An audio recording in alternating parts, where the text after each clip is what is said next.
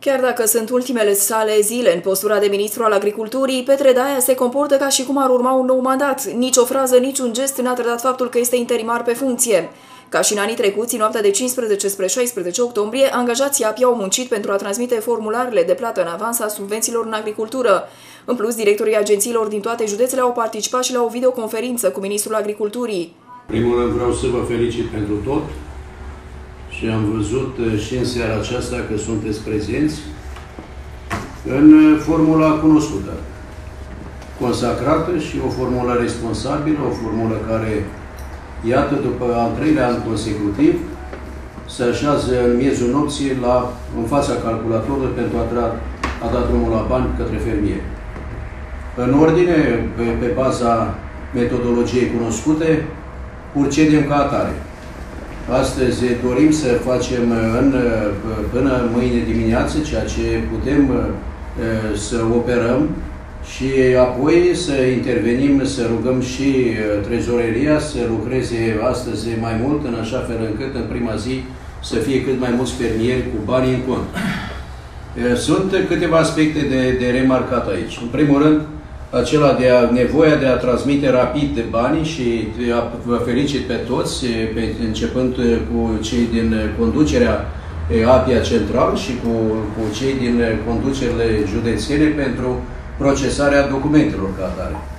Ați reușit să faceți un pasul acesta de pregătire pentru 4, peste 400 de mii de, de fermieri. Evident că activitatea se derulează în așa fel încât să ne atingem obiectivul pe care ni l-am programat ca până la data de 1 noiembrie să depășim 80% din numărul de fermieri care vor beneficia de bani ca avans în această perioadă pentru că au nevoie de banii respectivi pentru a executa lucrările în câmp. Este cel mai prielnic moment pentru executarea lucrărilor, pentru punerea pazelor agricole în campania din anul acesta pentru anul agricol 2019-2020.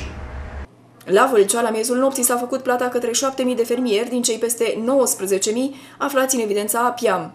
În fiecare an, pe data de 15, la ora 12, uh, se declanșează procesul de autorizare la plată a fermierilor care au depus cerere de sprijin pe suprafață și pe în sectorul zootehnic în anul 2019, în acest an. Noi, județul Vâlcea, am avut în prima tranșă, să spunem așa, în noaptea de 15 spre 16, 7205 fermieri care au intrat pe tranșele de plată, urmând ca în cursul zilei de astăzi să fie întocmite ordine de plată, apoi să meargă la trezorerie, după care în conturile fermierilor. Deci chiar azi noapte au primit șapte de fermieri da. banii. Da, așa este. Uh, noi toți de la Centrul Județean și colegii din centrele locale, responsabili cu autorizarea plăților, au fost prezenți toată noaptea. În zilele următoare vor urma În și zilele următoare, tranșe. celelalte tranșe, ceilalți fermieri care sunt uh, uh, și au în um, deținere animale și proprietari de pășuni, uh, ei trebuiau să aducă toate documentele până pe 15 octombrie, 15 fiind ieri, de astăzi încolo colegii mei procesează și aceste dosare. Este vorba de circa 6700 de dosare care au uh, pășuni.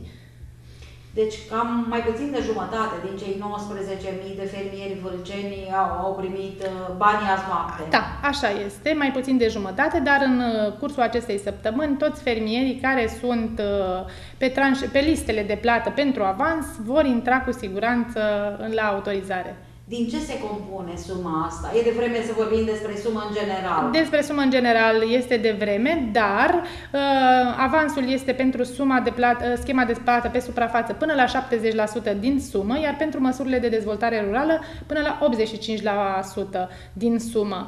Uh, este vorba de schema de plată pe suprafață, plata redistributivă și plata pentru practici agricole, acum în primă fază la avans. Uh, de asemenea, uh, au primit plăți și avans um, fermierii care au solicitat sprijin cuplat pentru ovine și caprine. Domnul ministru a vrut să fie scrupulos dacă a apăsat butonul la ora 12. Așa este. În fiecare an, domnul ministru a fost alături de noi, la 12 noapte a dat startul, după care am continuat cu videoconferința în care ne-am mulțumit pentru efortul depus. Uh, niciun efort nu e prea mare atunci când știi că fermierii sunt uh, mulțumiți și pot ca să-și desfășoare lucrările de toamnă. Deci ați făcut noapte albă, dumneavoastră și colegii Așa la Via Așa este. Da, ce să zic, dacă sunt vești bune și oamenii își primesc banii uh, pentru munca lor, e în ordine. Sunt vești bune, cu siguranță și dumneavoastră știți că și fermierii care sunt în control teren și dumnealor vor primi banii, mai puțin fermierii care sunt în control pe teledetecție pentru că rezultatele de la prestator nu au fost livrate, dar cu siguranță până la sfârșitul anului și aceștia vor intra. Că... Plata în avans reprezintă peste 70% din suma totală pe care fermierii sunt îndreptățiți să o primească.